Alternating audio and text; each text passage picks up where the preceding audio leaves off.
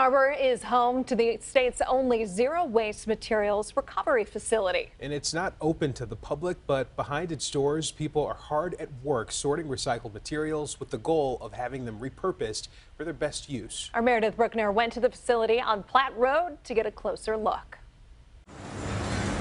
This facility is the only one of its kind in Michigan and one of just four in the country. The two year old zero waste materials recovery facility cost over $7 million to build and is run by nonprofit Recycle Ann Arbor. Its mission? To sort and send recycled materials to local manufacturers that will recycle the products again. CEO Bryan Ukena has been part of the recycling movement since the 1980s. He says many items find their way into the MRF that shouldn't. Plastic's probably the biggest issue.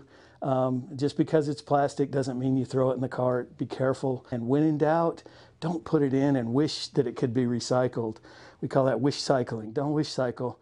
When in doubt, leave it out. Trucks come in on a near constant basis. Loader operator Brian Stewart is there to start processing the materials and make sure no contaminants are present. I am the MRF extraordinaire. so I am the loader and operator of the big machine you see behind me, which is the loader, and I'm the first line of defense. Lithium ion batteries are a primary concern. When you run over those batteries, they catch on fire.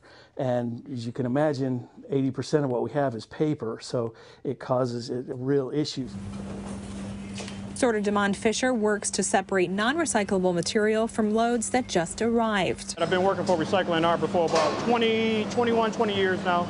We have to get all, uh, try to get all the stuff like trash and stuff before it goes onto our, our recycling line. He says they often see propane tanks, Christmas lights, and other garbage come through the line. Ukena says zero waste facilities like this exist to enter into a discussion.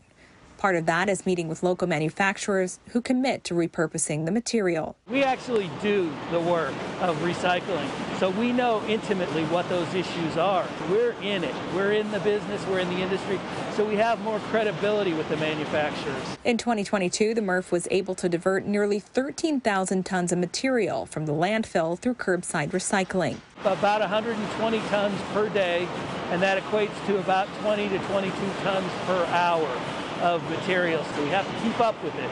It's like a faucet. Once you turn it on, you can't stop. With such a demanding task each day, a committed staff is critical to the MRF's operations. We're a union shop. We're not a, we don't hire temps here. We, everybody's fully benefited. For uh, some of these people in manufacturing, this is the first time they've had the opportunity to have that. Ukena says millions of dollars worth of equipment and technology cannot replace the human touch on the sorting line. Nor can it replace the human spirit. I just love coming into work every day. Who wants to sit home?